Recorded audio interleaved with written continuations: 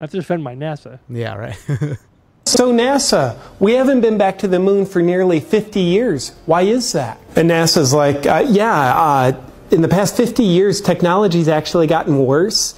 Yeah, the experts say human knowledge is doubling every 13 months. And yeah, your smartphone has more computing power than all of NASA's computers combined in 1969.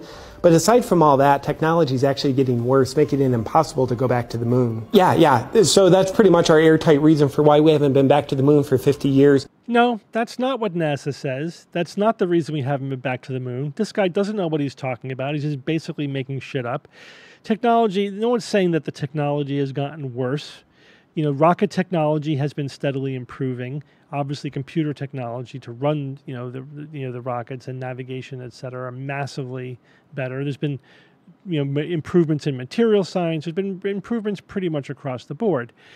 The problem is that it's still stupid ridiculously expensive to go to the moon and the question is well why should we we had a pretty clear reason for going to the moon in the 1960s and early 1970s. It was to beat the Soviet Union there. That was pretty much it. We were in a space race with our with our number one geopolitical rival, and we were very highly motivated to beat them to the moon, and we did. Of course, once we did, there wasn't much of an incentive to keep doing it. So we didn't even completely fund the rest of the Apollo program. It got cut short because it was like, ah, it's a, you know, it's costing us billions of dollars. Do we really want to keep doing this? And then when Apollo 13 happened, they were like, it's also risky. Maybe we should cut our losses. You know, if we, so far, we've gotten everyone back that we sent to the moon, other than Apollo uh, was it Apollo One, the one that blew up on that caught fire on the on the launch pad. Um, that that was the only loss of life in the Apollo program. But then they sent people to the moon and back. Every mission was successful. No, you know, nobody lost their life, and they wanted to stop while they were ahead. But anyway, why haven't we gone back since then? Because we haven't financed it. That's it. We haven't, you know, put ponied up the money to spend the billions of dollars it would take to get to the moon. For, we wanted to focus on the shuttle program and then the International Space Station. Those were NASA's sort of major people in space projects. Uh, they thought there would be more bang for the buck there. We would bring down the cost of getting to space by having a reusable shuttle, and it was true, uh, although it was still expensive. But getting to the moon is a different beast it is really expensive, even with modern rocketry, modern technology.